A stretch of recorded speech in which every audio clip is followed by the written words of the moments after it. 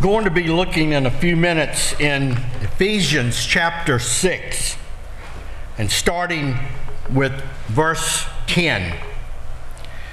But I think what we're getting ready to read is very, very pertinent to what is going on in this very day. 20 years ago, we were attacked by a group of Saudi Arabians who came over to this country on a student visa, learned how to fly airplanes, and then they ran them into the towers and into the Pentagon and so forth and so on. The globalist George W. Bush did nothing whatsoever about it but hurry a bunch of Saudi Arabians that night onto a plane and got them out of the country. You can look it up, I'm telling the truth. Then he went and attacked the country, didn't have anything to do with it. All along, people didn't know. Then they passed a law called the Patriot Act that was neither. And we handed half of our rights away to a globalist leftist president and a government. That's hard pill to swallow. But George Bush was no friend of this country's. He won't. 20 years later, after the rest of the presidents, other than Trump, welcomed the enemy into our land and gave them high positions in government, and that's the reason they wanted Trump out of there because he would have no part of it. Now we've been under attack by Red China with a disease that has killed probably a hundred times more people than the Twin Towers falling. And what have we done about that? We've handed the rest of our rights over to a Marxist president by the name of Joe Biden. And so, right now, we're living in very, very dangerous, troubled times the so called president that we've got now is ordering us to go get injections that a lot of us know nothing about yeah. and making it mandatory. And now there are grocery stores in our country that won't even let you buy groceries unless you got your papers. Mm-hmm. You cannot go to restaurants, you cannot go to ball games, you cannot go anywhere. Do not tell me for one second that this world is not ready for the mark of the beast. It is. It's ready. This is a test run, people. So, what do we as Christians, what do we do while we are stuck here on this earth, facing all of this stuff that's, and it's mainly aimed at us?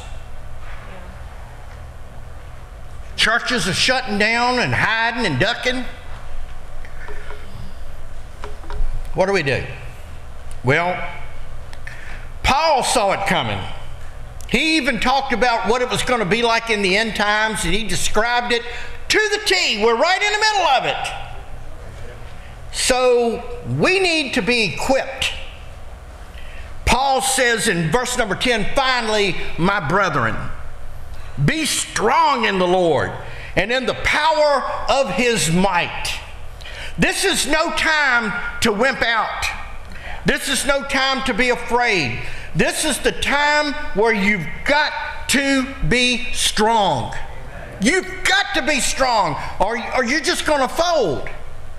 And your strength comes only from the Lord. People have got to start keeping their eyes on Him right now. Then he says, Put on the whole armor of God that you may be able to stand against the wiles of the devil. And let me tell you something, they are plentiful.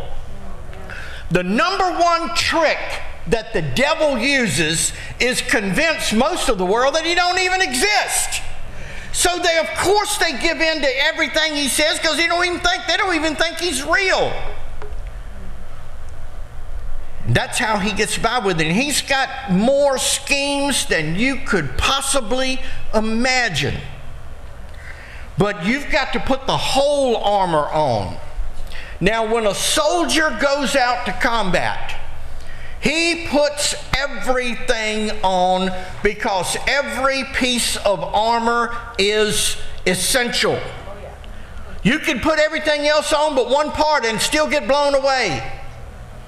And so when you start every day, you need to put on the whole armor of God to go out there and to fight the forces of evil that are coming towards you. Listen to more what he says here. For we wrestle not against flesh and blood. Now, I wish we did. I honestly wish we did because we could whip them real easy. Yeah. We know we could. I bet there's enough hardware in this church right here to stand off half of an army. I could walk up and down the aisles and peek over in pocketbooks and look under the shirts and even on the outside and see all kinds of goodies. But listen, this our enemy is not really flesh and blood, even though it manifests itself in flesh and blood. But it's against principalities, against powers, against the rulers of darkness of this world, against spiritual wickedness in high places. There are demonic spirits everywhere. There are fallen angels in the heavens that are fighting against us. There are demonic spirits down here that are fighting against us. And whether you like it or not, whether you know it or not, if you're a child of God, you are at war. And a good soldier is trained and knows who the enemy is and knows what to do. And we're fighting all of those powers, but the Holy Spirit that lives within us gives us the strength to do that. So he said, So wherefore take unto you the whole armor of God, that you may be able to withstand in the evil day. We, folks, in case you haven't realized it yet, here's news. We're in the evil day. It's right here. It's now. It's not coming later. We're right smack in the middle of the evil day. And my goodness, beloved friends, if you can't see that, you truly are lost. You need the Holy Spirit in you to tell you what's going on if you're not seeing it yet. It said, in the evil day. And having done all, to stand. Folks, we prayed, we've preached, we've voted, we've done everything. It's time now to stand.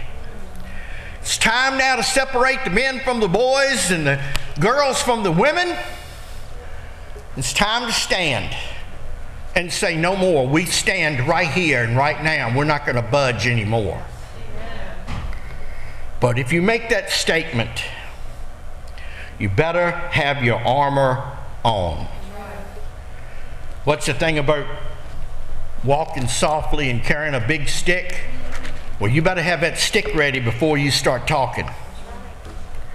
Because the moment you decide to make a stand, the devil is coming after you.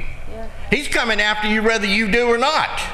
So you better be ready to fight when he comes. Now, he's going to go over some of the weapons of war, some of the armor, and he said, Stand therefore, having your loins girt with truth. I love that old English way of putting it. Have you ever seen a weightlifter? They will take a belt and gird it around them before they lift weights. So this is what it looks like when you forget to wear your belt and you, you know. Well, anyway, I probably need to start wearing one from now on. My living girdle died this morning. Anyway, it gives you strength inner from your core, and you're able to lift and you're able to fight. And all soldiers would put one of those belts on and they would tuck their robes or whatever it was or tunics that they were wearing in there so they wouldn't step on them when they were fighting and it gave them extra strength. And the thing that gives you the strength is truth.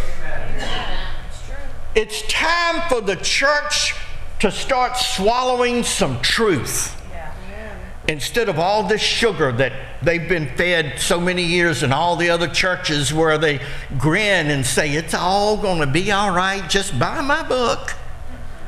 Come on, people. There was an idiot on that inspiration camp meeting. That's the most blasphemous thing I've ever seen in my life. And the man said, So what if you can't even afford a kitchen table? Send me a thousand dollars.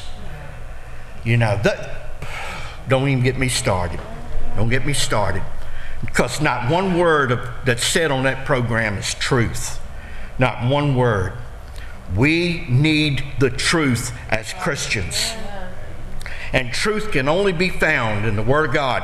And then, having on the breastplate of righteousness, that's your, one, that's your armored vest, a breastplate that covers the vitals, it covers your heart and it has to be, you have to be covered in righteousness. I sometimes stand and think about my own righteousness and what it looks like in front of God, and it's very shameful. It's awful because there's nothing I can do to look righteous in front of God, and there's nothing you can do to look righteous in front of God except allow yourself to be covered by the blood of Christ. Amen when he looks at you and sees the blood, you are declared righteous, and he does not see us as we really are. And you need to put everything in your life under the blood of Jesus Christ when you start the day. Put your family under the blood, put your friends under the blood, put your church under the blood, put yourself under the blood. That's your breastplate of righteousness. And you should have your feet shod with the preparation of the gospel of peace. That literally means everywhere you walk, you need to share the gospel and quit back pedaling when somebody confronts you when you're telling them the truth. You keep telling them the truth. You know the shoes that the Roman soldiers, and that's what he's talking about here, the outfit of a Roman soldier, they had cleats on the bottom of them that was made only for going forward and it would keep you from sliding backwards because it would dig into the ground. There is no backing up for us any longer, folks. That needs to go, and that needs to go right now. We need to stand our ground and tell it like it is and give out the gospel of Jesus Christ. And then, taking the shield of faith, wherewith you shall be able to quench all the fiery darts of the wicked. Oh, my Lord, I don't even know where I'd start. I, I, recently was watching one of the new Star Trek movies. Now, I don't mean to get too spiritual here, but I'm going to try. I see Roger back there praising God. Okay. Now, they were fighting an enemy that had this massive ship, and he was taking out all of the Federation ships and all that and what he would do when he would go to combat, he would scream at his men, Fire everything! and you never seen so much stuff coming out of that ship in your life. It's what the devil's doing to us right now. He, for many centuries, he'd hit us with this and hit us with that. But even but my mother used to tell me about it, and the Bible tells me about it that the devil, when he sees that he has but a short time, will step it up. Right now, the devil knows that it's almost over for him. And so he's screaming to all of his minions fire everything. And it looks like everything in the world is coming at us right now. Have you ever seen a time in history where you have been under attack at such a level? Where the church has been under attack at such a level? I mean, wham, wham, wham. You don't even have time to get your breath. When here comes another one and another one, we're getting attacks on our family, attacks on our church, attacks on our jobs, attacks on us personally, and everything the devil can fire at you is coming, folks. The, the, the atmosphere is filled with fiery darts. The fiery darts of fear. The, and here's another one he's using the fiery darts of doubt. Oh, we come to church and we get all fired up and yeah, man, we gonna stand on the rock, we gonna stand on the word. And then something comes along and man, we start, whoa, wait a minute, is God gonna really look out for me? What do I need to do? You know, you wanna see what it looks like? Go in Walmart one day and sneeze out real loud. They hit the deck like there's machine gun fire coming in there. People are horrified. We are living totally under siege and we can't even stop to get our breath. So you need to be ready for the fiery darts of the wicked by holding up your shield of faith. You've got to have faith that God's going to see you through no matter what. Now, you want to finally get to the end of your faith, you've got to stand like Job and say, Though he slay me, yet will I trust in him. When you get to that point, you're ready to fight because you might be slain in it, but you got to trust in him no matter what. The fiery darts of the wicked. Man, he is firing everything. And take the helmet of salvation. That protects your head, that protects your brain. You can't fight with a bullet in your head. Salvation is the most important thing of all this armor. Your helmet. You go nowhere without your helmet on. You can wear the shields and the breastplates and have your loins girt, but if you ain't saved, it ain't gonna do you a bit of good. You must be born again. You must put your trust in Jesus Christ and Jesus Christ alone to be saved. Being saved is not jumping through all these different hoops and joining this and joining that. It's completely trusting Christ. And let me tell you something, folks. When you go out your door in the morning to face the world, you better trust in Christ. You better. And now we're coming to one of my favorites the sword of the Spirit. What did people fight with in those days when Paul was writing? Sword. Now, I happen to be a a weapons nut. Everybody knows me. Now, many of y'all are walking around with them little old 22 AR 15s and hang on a minute. Why have a 22 when you can have a Chicago typewriter? Yeah. This thing shoots 45s and you might get hit with an arrow with the AR-15, but this is a freight train coming at you right here. And uh, anyway, and if I thought that I was going to war against flesh and blood, I'd reach for something like that. But that right there, as much as I don't mind walking in the middle of the woods at night with that in my hand, not afraid at all. It don't do no good against the spirit world. Don't do a bit of good. Let me tell you what will do. This right here. This is the most powerful weapon known to man. Way more powerful than my Chicago typewriter, my chopper. Way, way more powerful. As a matter of fact, the Marxists know that. They are more afraid of you having a copy of the Word of God than having that gun right there. They are far more terrified of you because this thing right here will not only defend you against every dart coming at you, it will set you free. It will protect you. It will tell you everything to do. For many years in the communist bloc nations, they would stop cars at the border and they would ask them two questions. And a friend of mine who escaped from over there told me, they said, Do you have a gun and do you have a Bible? And if you had either one, you were going to prison. People would take uh, and make a, a, a inner shell inside of a car and carry hundreds of Bibles in them to get them across the border.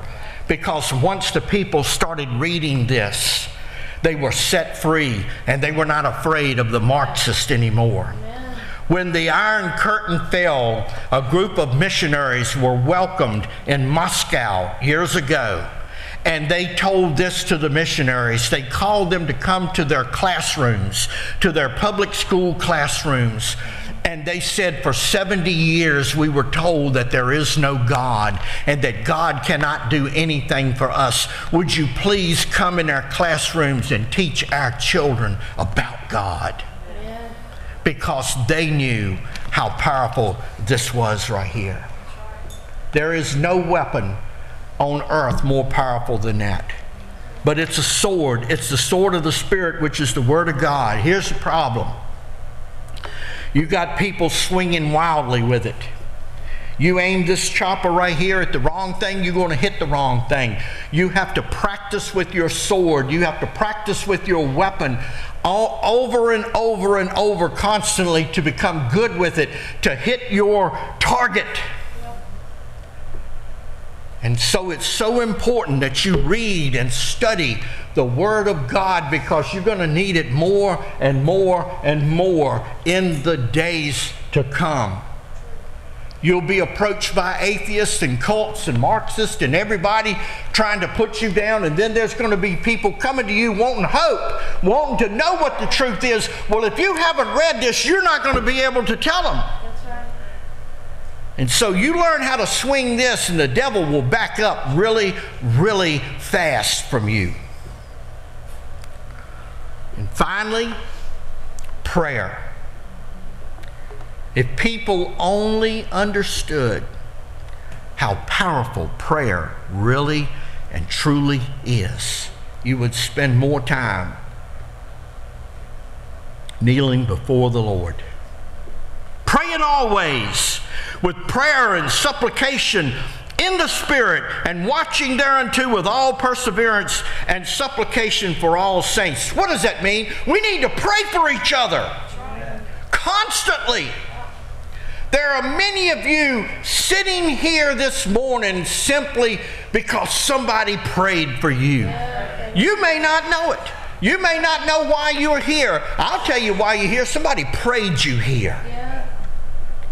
And the reason that you survived is because people got hold of God and you prayed for them.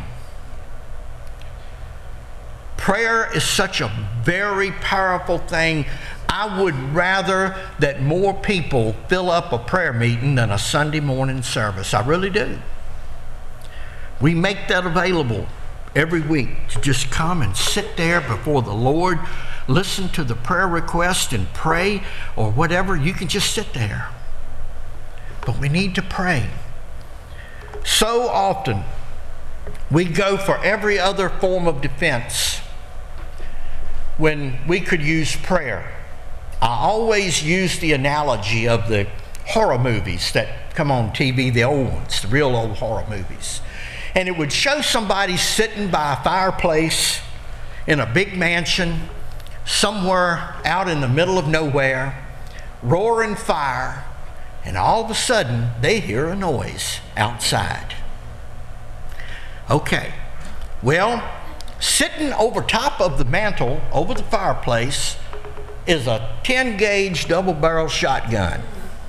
But what does the idiot in the movie do? He reaches for a poker.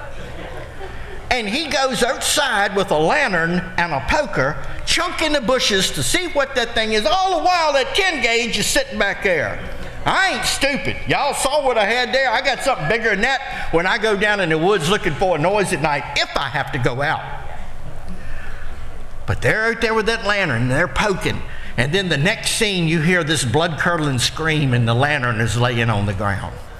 When all along, if he had to have gone out there, he could have done it. This, listen carefully. We do the same thing.